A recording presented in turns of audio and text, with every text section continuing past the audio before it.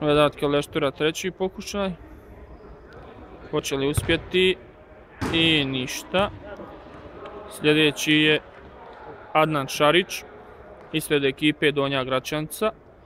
Hoće li uspjeti onda pogodi gredu i osvoji kredu. Sada ćemo da vidimo iskustvo. Ja, malo je falilo, malo je falilo u prvom pokušaju. Drugi pokušaj.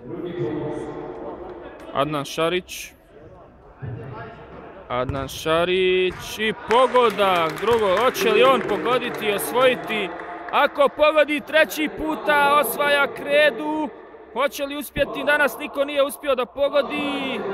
Molimo podršku! Dobija podršku, pokušaj treći. Čestitamo Adanu Šariću. Dobili smo pobjednika prvog kola, pogodi gredu, osvoji kredu.